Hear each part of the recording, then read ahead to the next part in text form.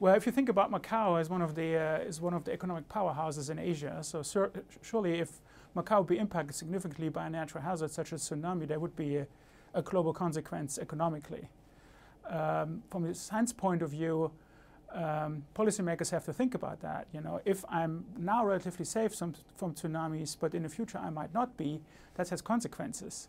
So policy, policymakers especially need to need to listen to scientists who have the tools or engage with scientists who have the tools uh, to, uh, uh, to predict the future or the, the future condition and then uh, make, decision, uh, make decisions now uh, on maybe do some investments that um, mitigate some of the worst effects.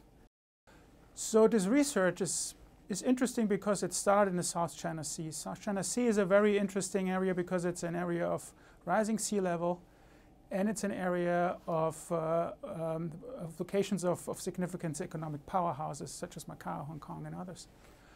Um, essentially, the tsunami hazard depends on the location of where your coastal city is. Uh, every location that, or every city that is located at, the, at an ocean with a subduction zone, uh, large tsunamis are possible. The Pacific Ocean, for example, is surrounded by subduction zones.